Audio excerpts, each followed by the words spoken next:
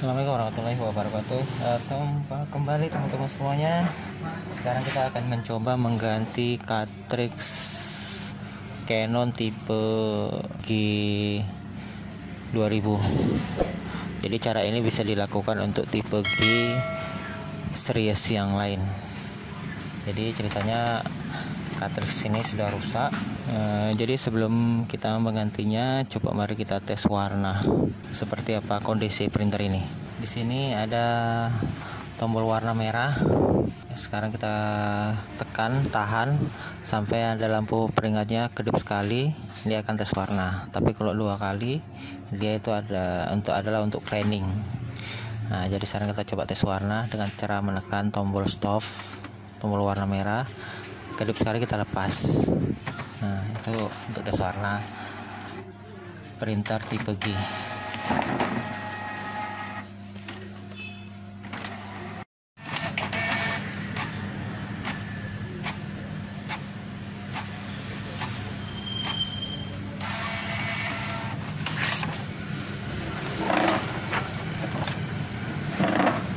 ya ini bisa dilihat uh, hitamnya agak rusak tapi warnanya bagus. Jadi bagaimana cara mengetahui ketir rusak? Nah, mari kita lihat.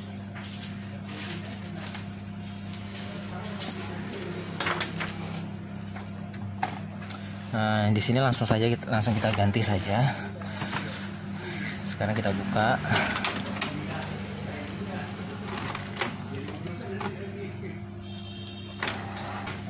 jadi sekarang uh, kita harus mengunci selang tintanya dulu supaya tinta itu tidak turun. Nah kita buka uh, penutup tintanya. Nah ini kalau seandainya cutter tidak uh, ke tengah ini nggak apa-apa kita tarik aja sedikit. Tidak masalah. Kemudian ini kita langsung aja kita buka. Ini kita tekan. Ya kita dorong ke atas. Jadi ini blacknya ini, ini color ini black.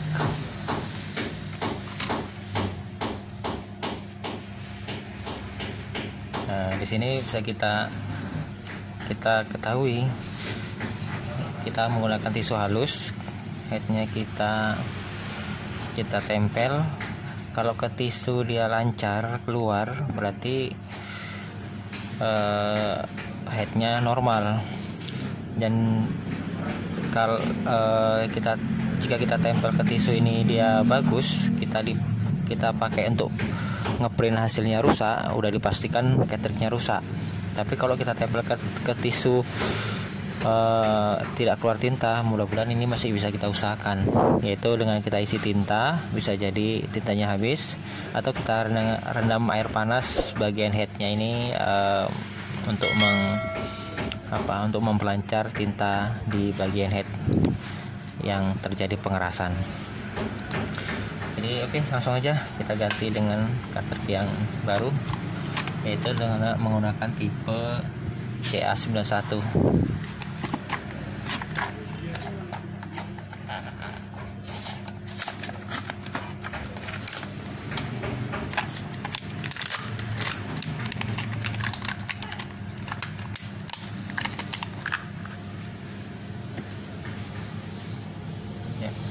kita buka cycle-nya.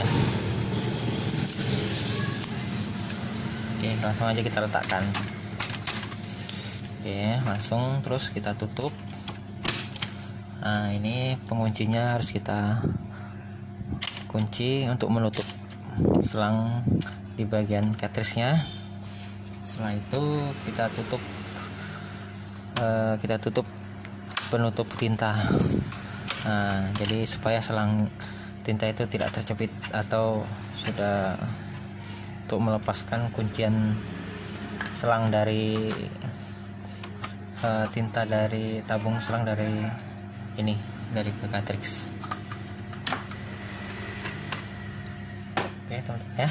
Sekarang kita tes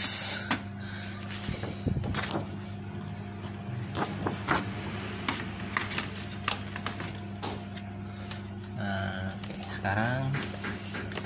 Kembali kita tes warna yaitu dengan menekan tombol reset. Kedip sekali kita lepas lampu peringatan ini. Ya pas oh jika terjadi seperti ini matikan saja. Matikan saja terus hidupkan kembali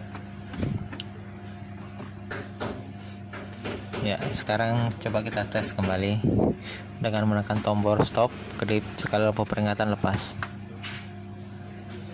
oke okay.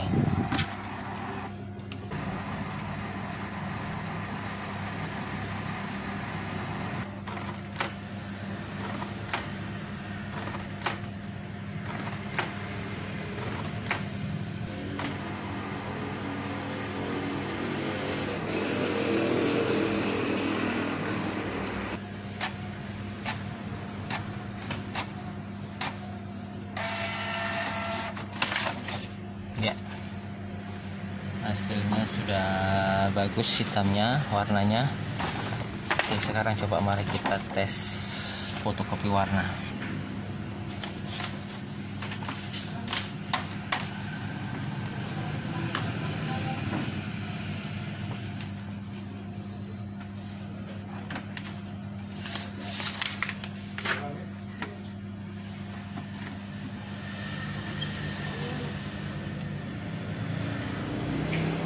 kita tes fotokopi warna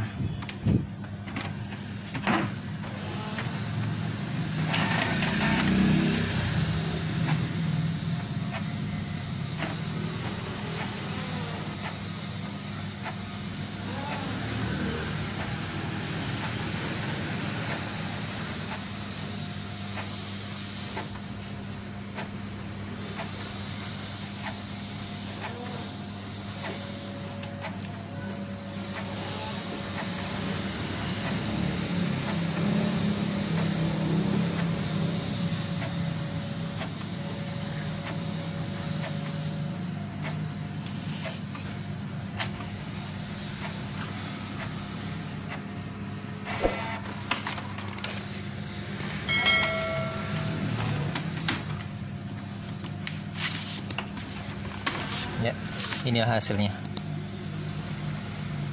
Oke sudah bagus. Oke teman-teman semuanya begitulah caranya bagaimana mengganti cartridge